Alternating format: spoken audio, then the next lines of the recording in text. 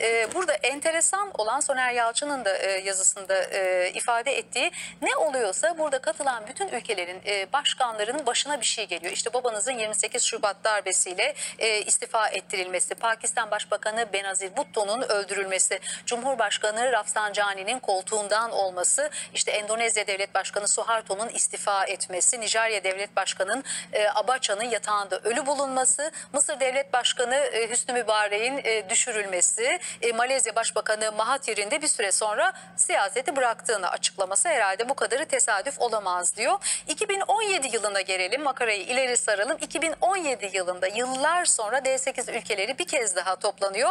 Bu kez Cumhurbaşkanı Sayın Erdoğan diyor ki ülkelerimiz arasındaki ticarette artık milli para birimlerini kullanmanın önünü açarsak D8 tarihinde bir devrime imza atarız. Dolar ve euro baskısında ekonomiyi eritmeye gerek yok. Milli ve yerli parayla ticaret yaparsak ülkemiz kazanır diyor. Aslında bir anlamda sanki e, aynı tavsiyeleri e, uygular nitelikte bir Sayın görüş Erdoğan'ın değil mi? bildiriyor. Evet, doğru. E, şimdi ama e, şuna gelmek istiyorum. Hani D8 ülkeleri bu kadar büyük beklentiyle yola çıkılmışken, babanız da bu kadar emek vermişken, bırakın ekonomik işbirliği, politik iç gücü bugün e, e, koronavirüse Tamamen. karşı bile maalesef ortak hareket edemeyen 8 ülkeden bahsediyoruz. Dolayısıyla soru gelsin.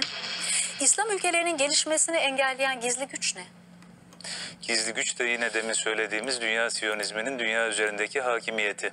Şimdi 28 Şubat'ın sebeplerinden biri de e, bu e, ortak para birimiyle hareket edilmesine yönelik İran'la Türkiye arasında yapılan anlaşma tamamen Amerikan dolarını devre dışında bırakıp İran'la Türkiye kendi para birimleri cinsinden ticaretlerini yapacaklardı. Bu Amerikan dolarının hakimiyetinin tehdit edilmesi demek. Amerikan dolarını İran'la Türkiye bırakacak. Yarın 57 Müslüman ülke bırakacak. Ertesi gün 160 ezilen ülke bırakacak. O zaman dünyayı nasıl sömüreceğiz? Nasıl sömürüyor? Karşılıksız olarak basıyor. Amerikan Merkez Bankası Federal Reserve 5 tane Siyonist bankerin kurduğu özel bir kuruluş. Amerika'da kamu kuruluşu değil, Amerikan devletinin değil.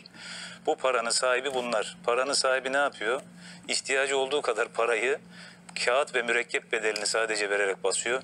Hatta rahmetli Erbakan hocamız Siyonizmin sonsuz parası var diyordu. Hakikaten de öyle. Herhangi bir karşılığı yok. Suudi Arabistan'dan petrol alacağı zaman 5 milyar dolar petrol alacak diyelim. 5 milyar dolarlık yeşil kağıt basıyor gelip alıyor. E şimdi siz Amerikan dolarını ben kullanmıyorum. İslam dinarına geçeceğim.